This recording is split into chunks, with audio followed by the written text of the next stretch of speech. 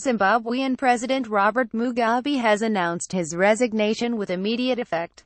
Wild celebrations broke out as a resignation letter was read out in the country's parliament, where impeachment proceedings against the ruler had begun.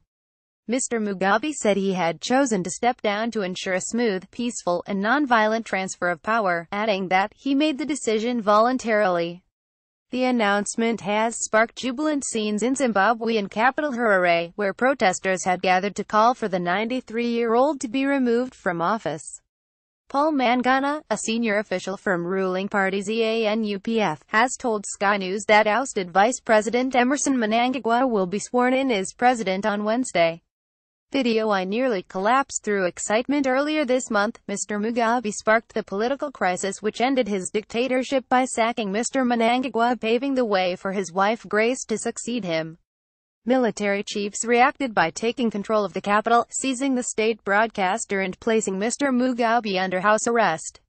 Live updates Zimbabwe celebrates as Mugabe resigns The ruler initially refused to stand down and told Zimbabweans in a televised address they must learn to forgive.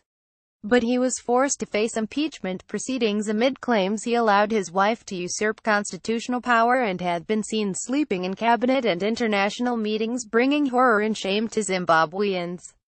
Image 1980 Mr. Mugabe and then UK Prime Minister Margaret Thatcher meet the year Rhodesia became Zimbabwe Image 1979 Robert Mugabe and the Zimbabwe African People's Union ZAPU leader Joshua Nkomo at the Lancaster House talks that led to the end of colonial rule Image 1980 Mr. Mugabe, then newly elected as Prime Minister of Zimbabwe, holds a press conference in his garden Image 1982 Mr. Mugabe visited the Queen at Buckingham Palace with his first wife wife, Sally Image 1984 Mr. Mugabe addressing a crowd at Harare Stadium the year after suppressing an armed rebellion in Ndebeleland Image 1984 He was awarded Doctor Honoris Causa at the University of Harare, an institution he would later be Chancellor of Image 1986 Mr. Mugabe leaves the scene of the African National Congress ANC offices that were bombed days earlier by a South African commando Image 1986 Cuban President Fidel Castro C shares a laugh with Zimbabwe Zimbabwean President Canaan Banana and then Prime Minister Mr. Mugabe L. Image 1988 Mr. Mugabe speaks to the press at the United Nations about the Africa Prize for Leadership Image 1993 Chinese President Jiang Zemin L. welcomes Mr. Mugabe R. with a Chinese honor guard during a welcoming ceremony outside the Great Hall of the People in Beijing Image 1996 Robert and Grace Mugabe married in a ceremony attended by 6,000 guests Image The couple became known for their outfits.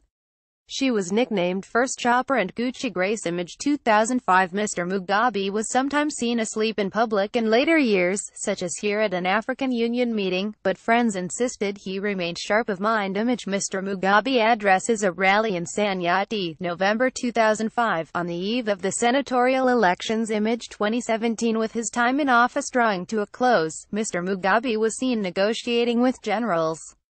The Herald newspaper Mr. Mugabe had ruled Zimbabwe since 1980 and his departure leaves the Queen as the world's oldest head of state. Under his presidency, the South African country's economy collapsed and unemployment rose to more than 90%. Profile assassination attempts, power grabs and tyranny The 93-year-old has been accused of a range of human rights abuses, including denying food aid to areas supporting the opposition. He has also faced repeated accusations of election voter rigging and intimidation in 2008 a violent campaign against supporters of opposition leader Morgan Tsvangirai saw scores killed and thousands displaced. Video Sky reporter mobbed as Harare celebrates Chris Mutsvangwa, leader of Zimbabwe's War Veterans Group, described Mr. Mugabe's resignation as the end of a very painful and sad chapter in the history of a young nation, in which a dictator, as he became old, surrendered his court to a gang of thieves around his wife. Meanwhile, British Prime Minister Theresa May said it gave Zimbabwe the chance to forge a new path free of the oppression that characterized his rule. What next for Zimbabwe's crippled economy? She said in recent days we have seen the desire of the Zimbabwean people for free and fair elections and the opportunity to rebuild the country's economy under a legitimate government. As Zimbabwe's oldest friend we will do all we can to support this, working with our international and regional partners to help the country achieve the brighter future it so deserves. Watch our special report Robert Mugabe End of the Dictator on Sky News at 9.30 p.m. tonight.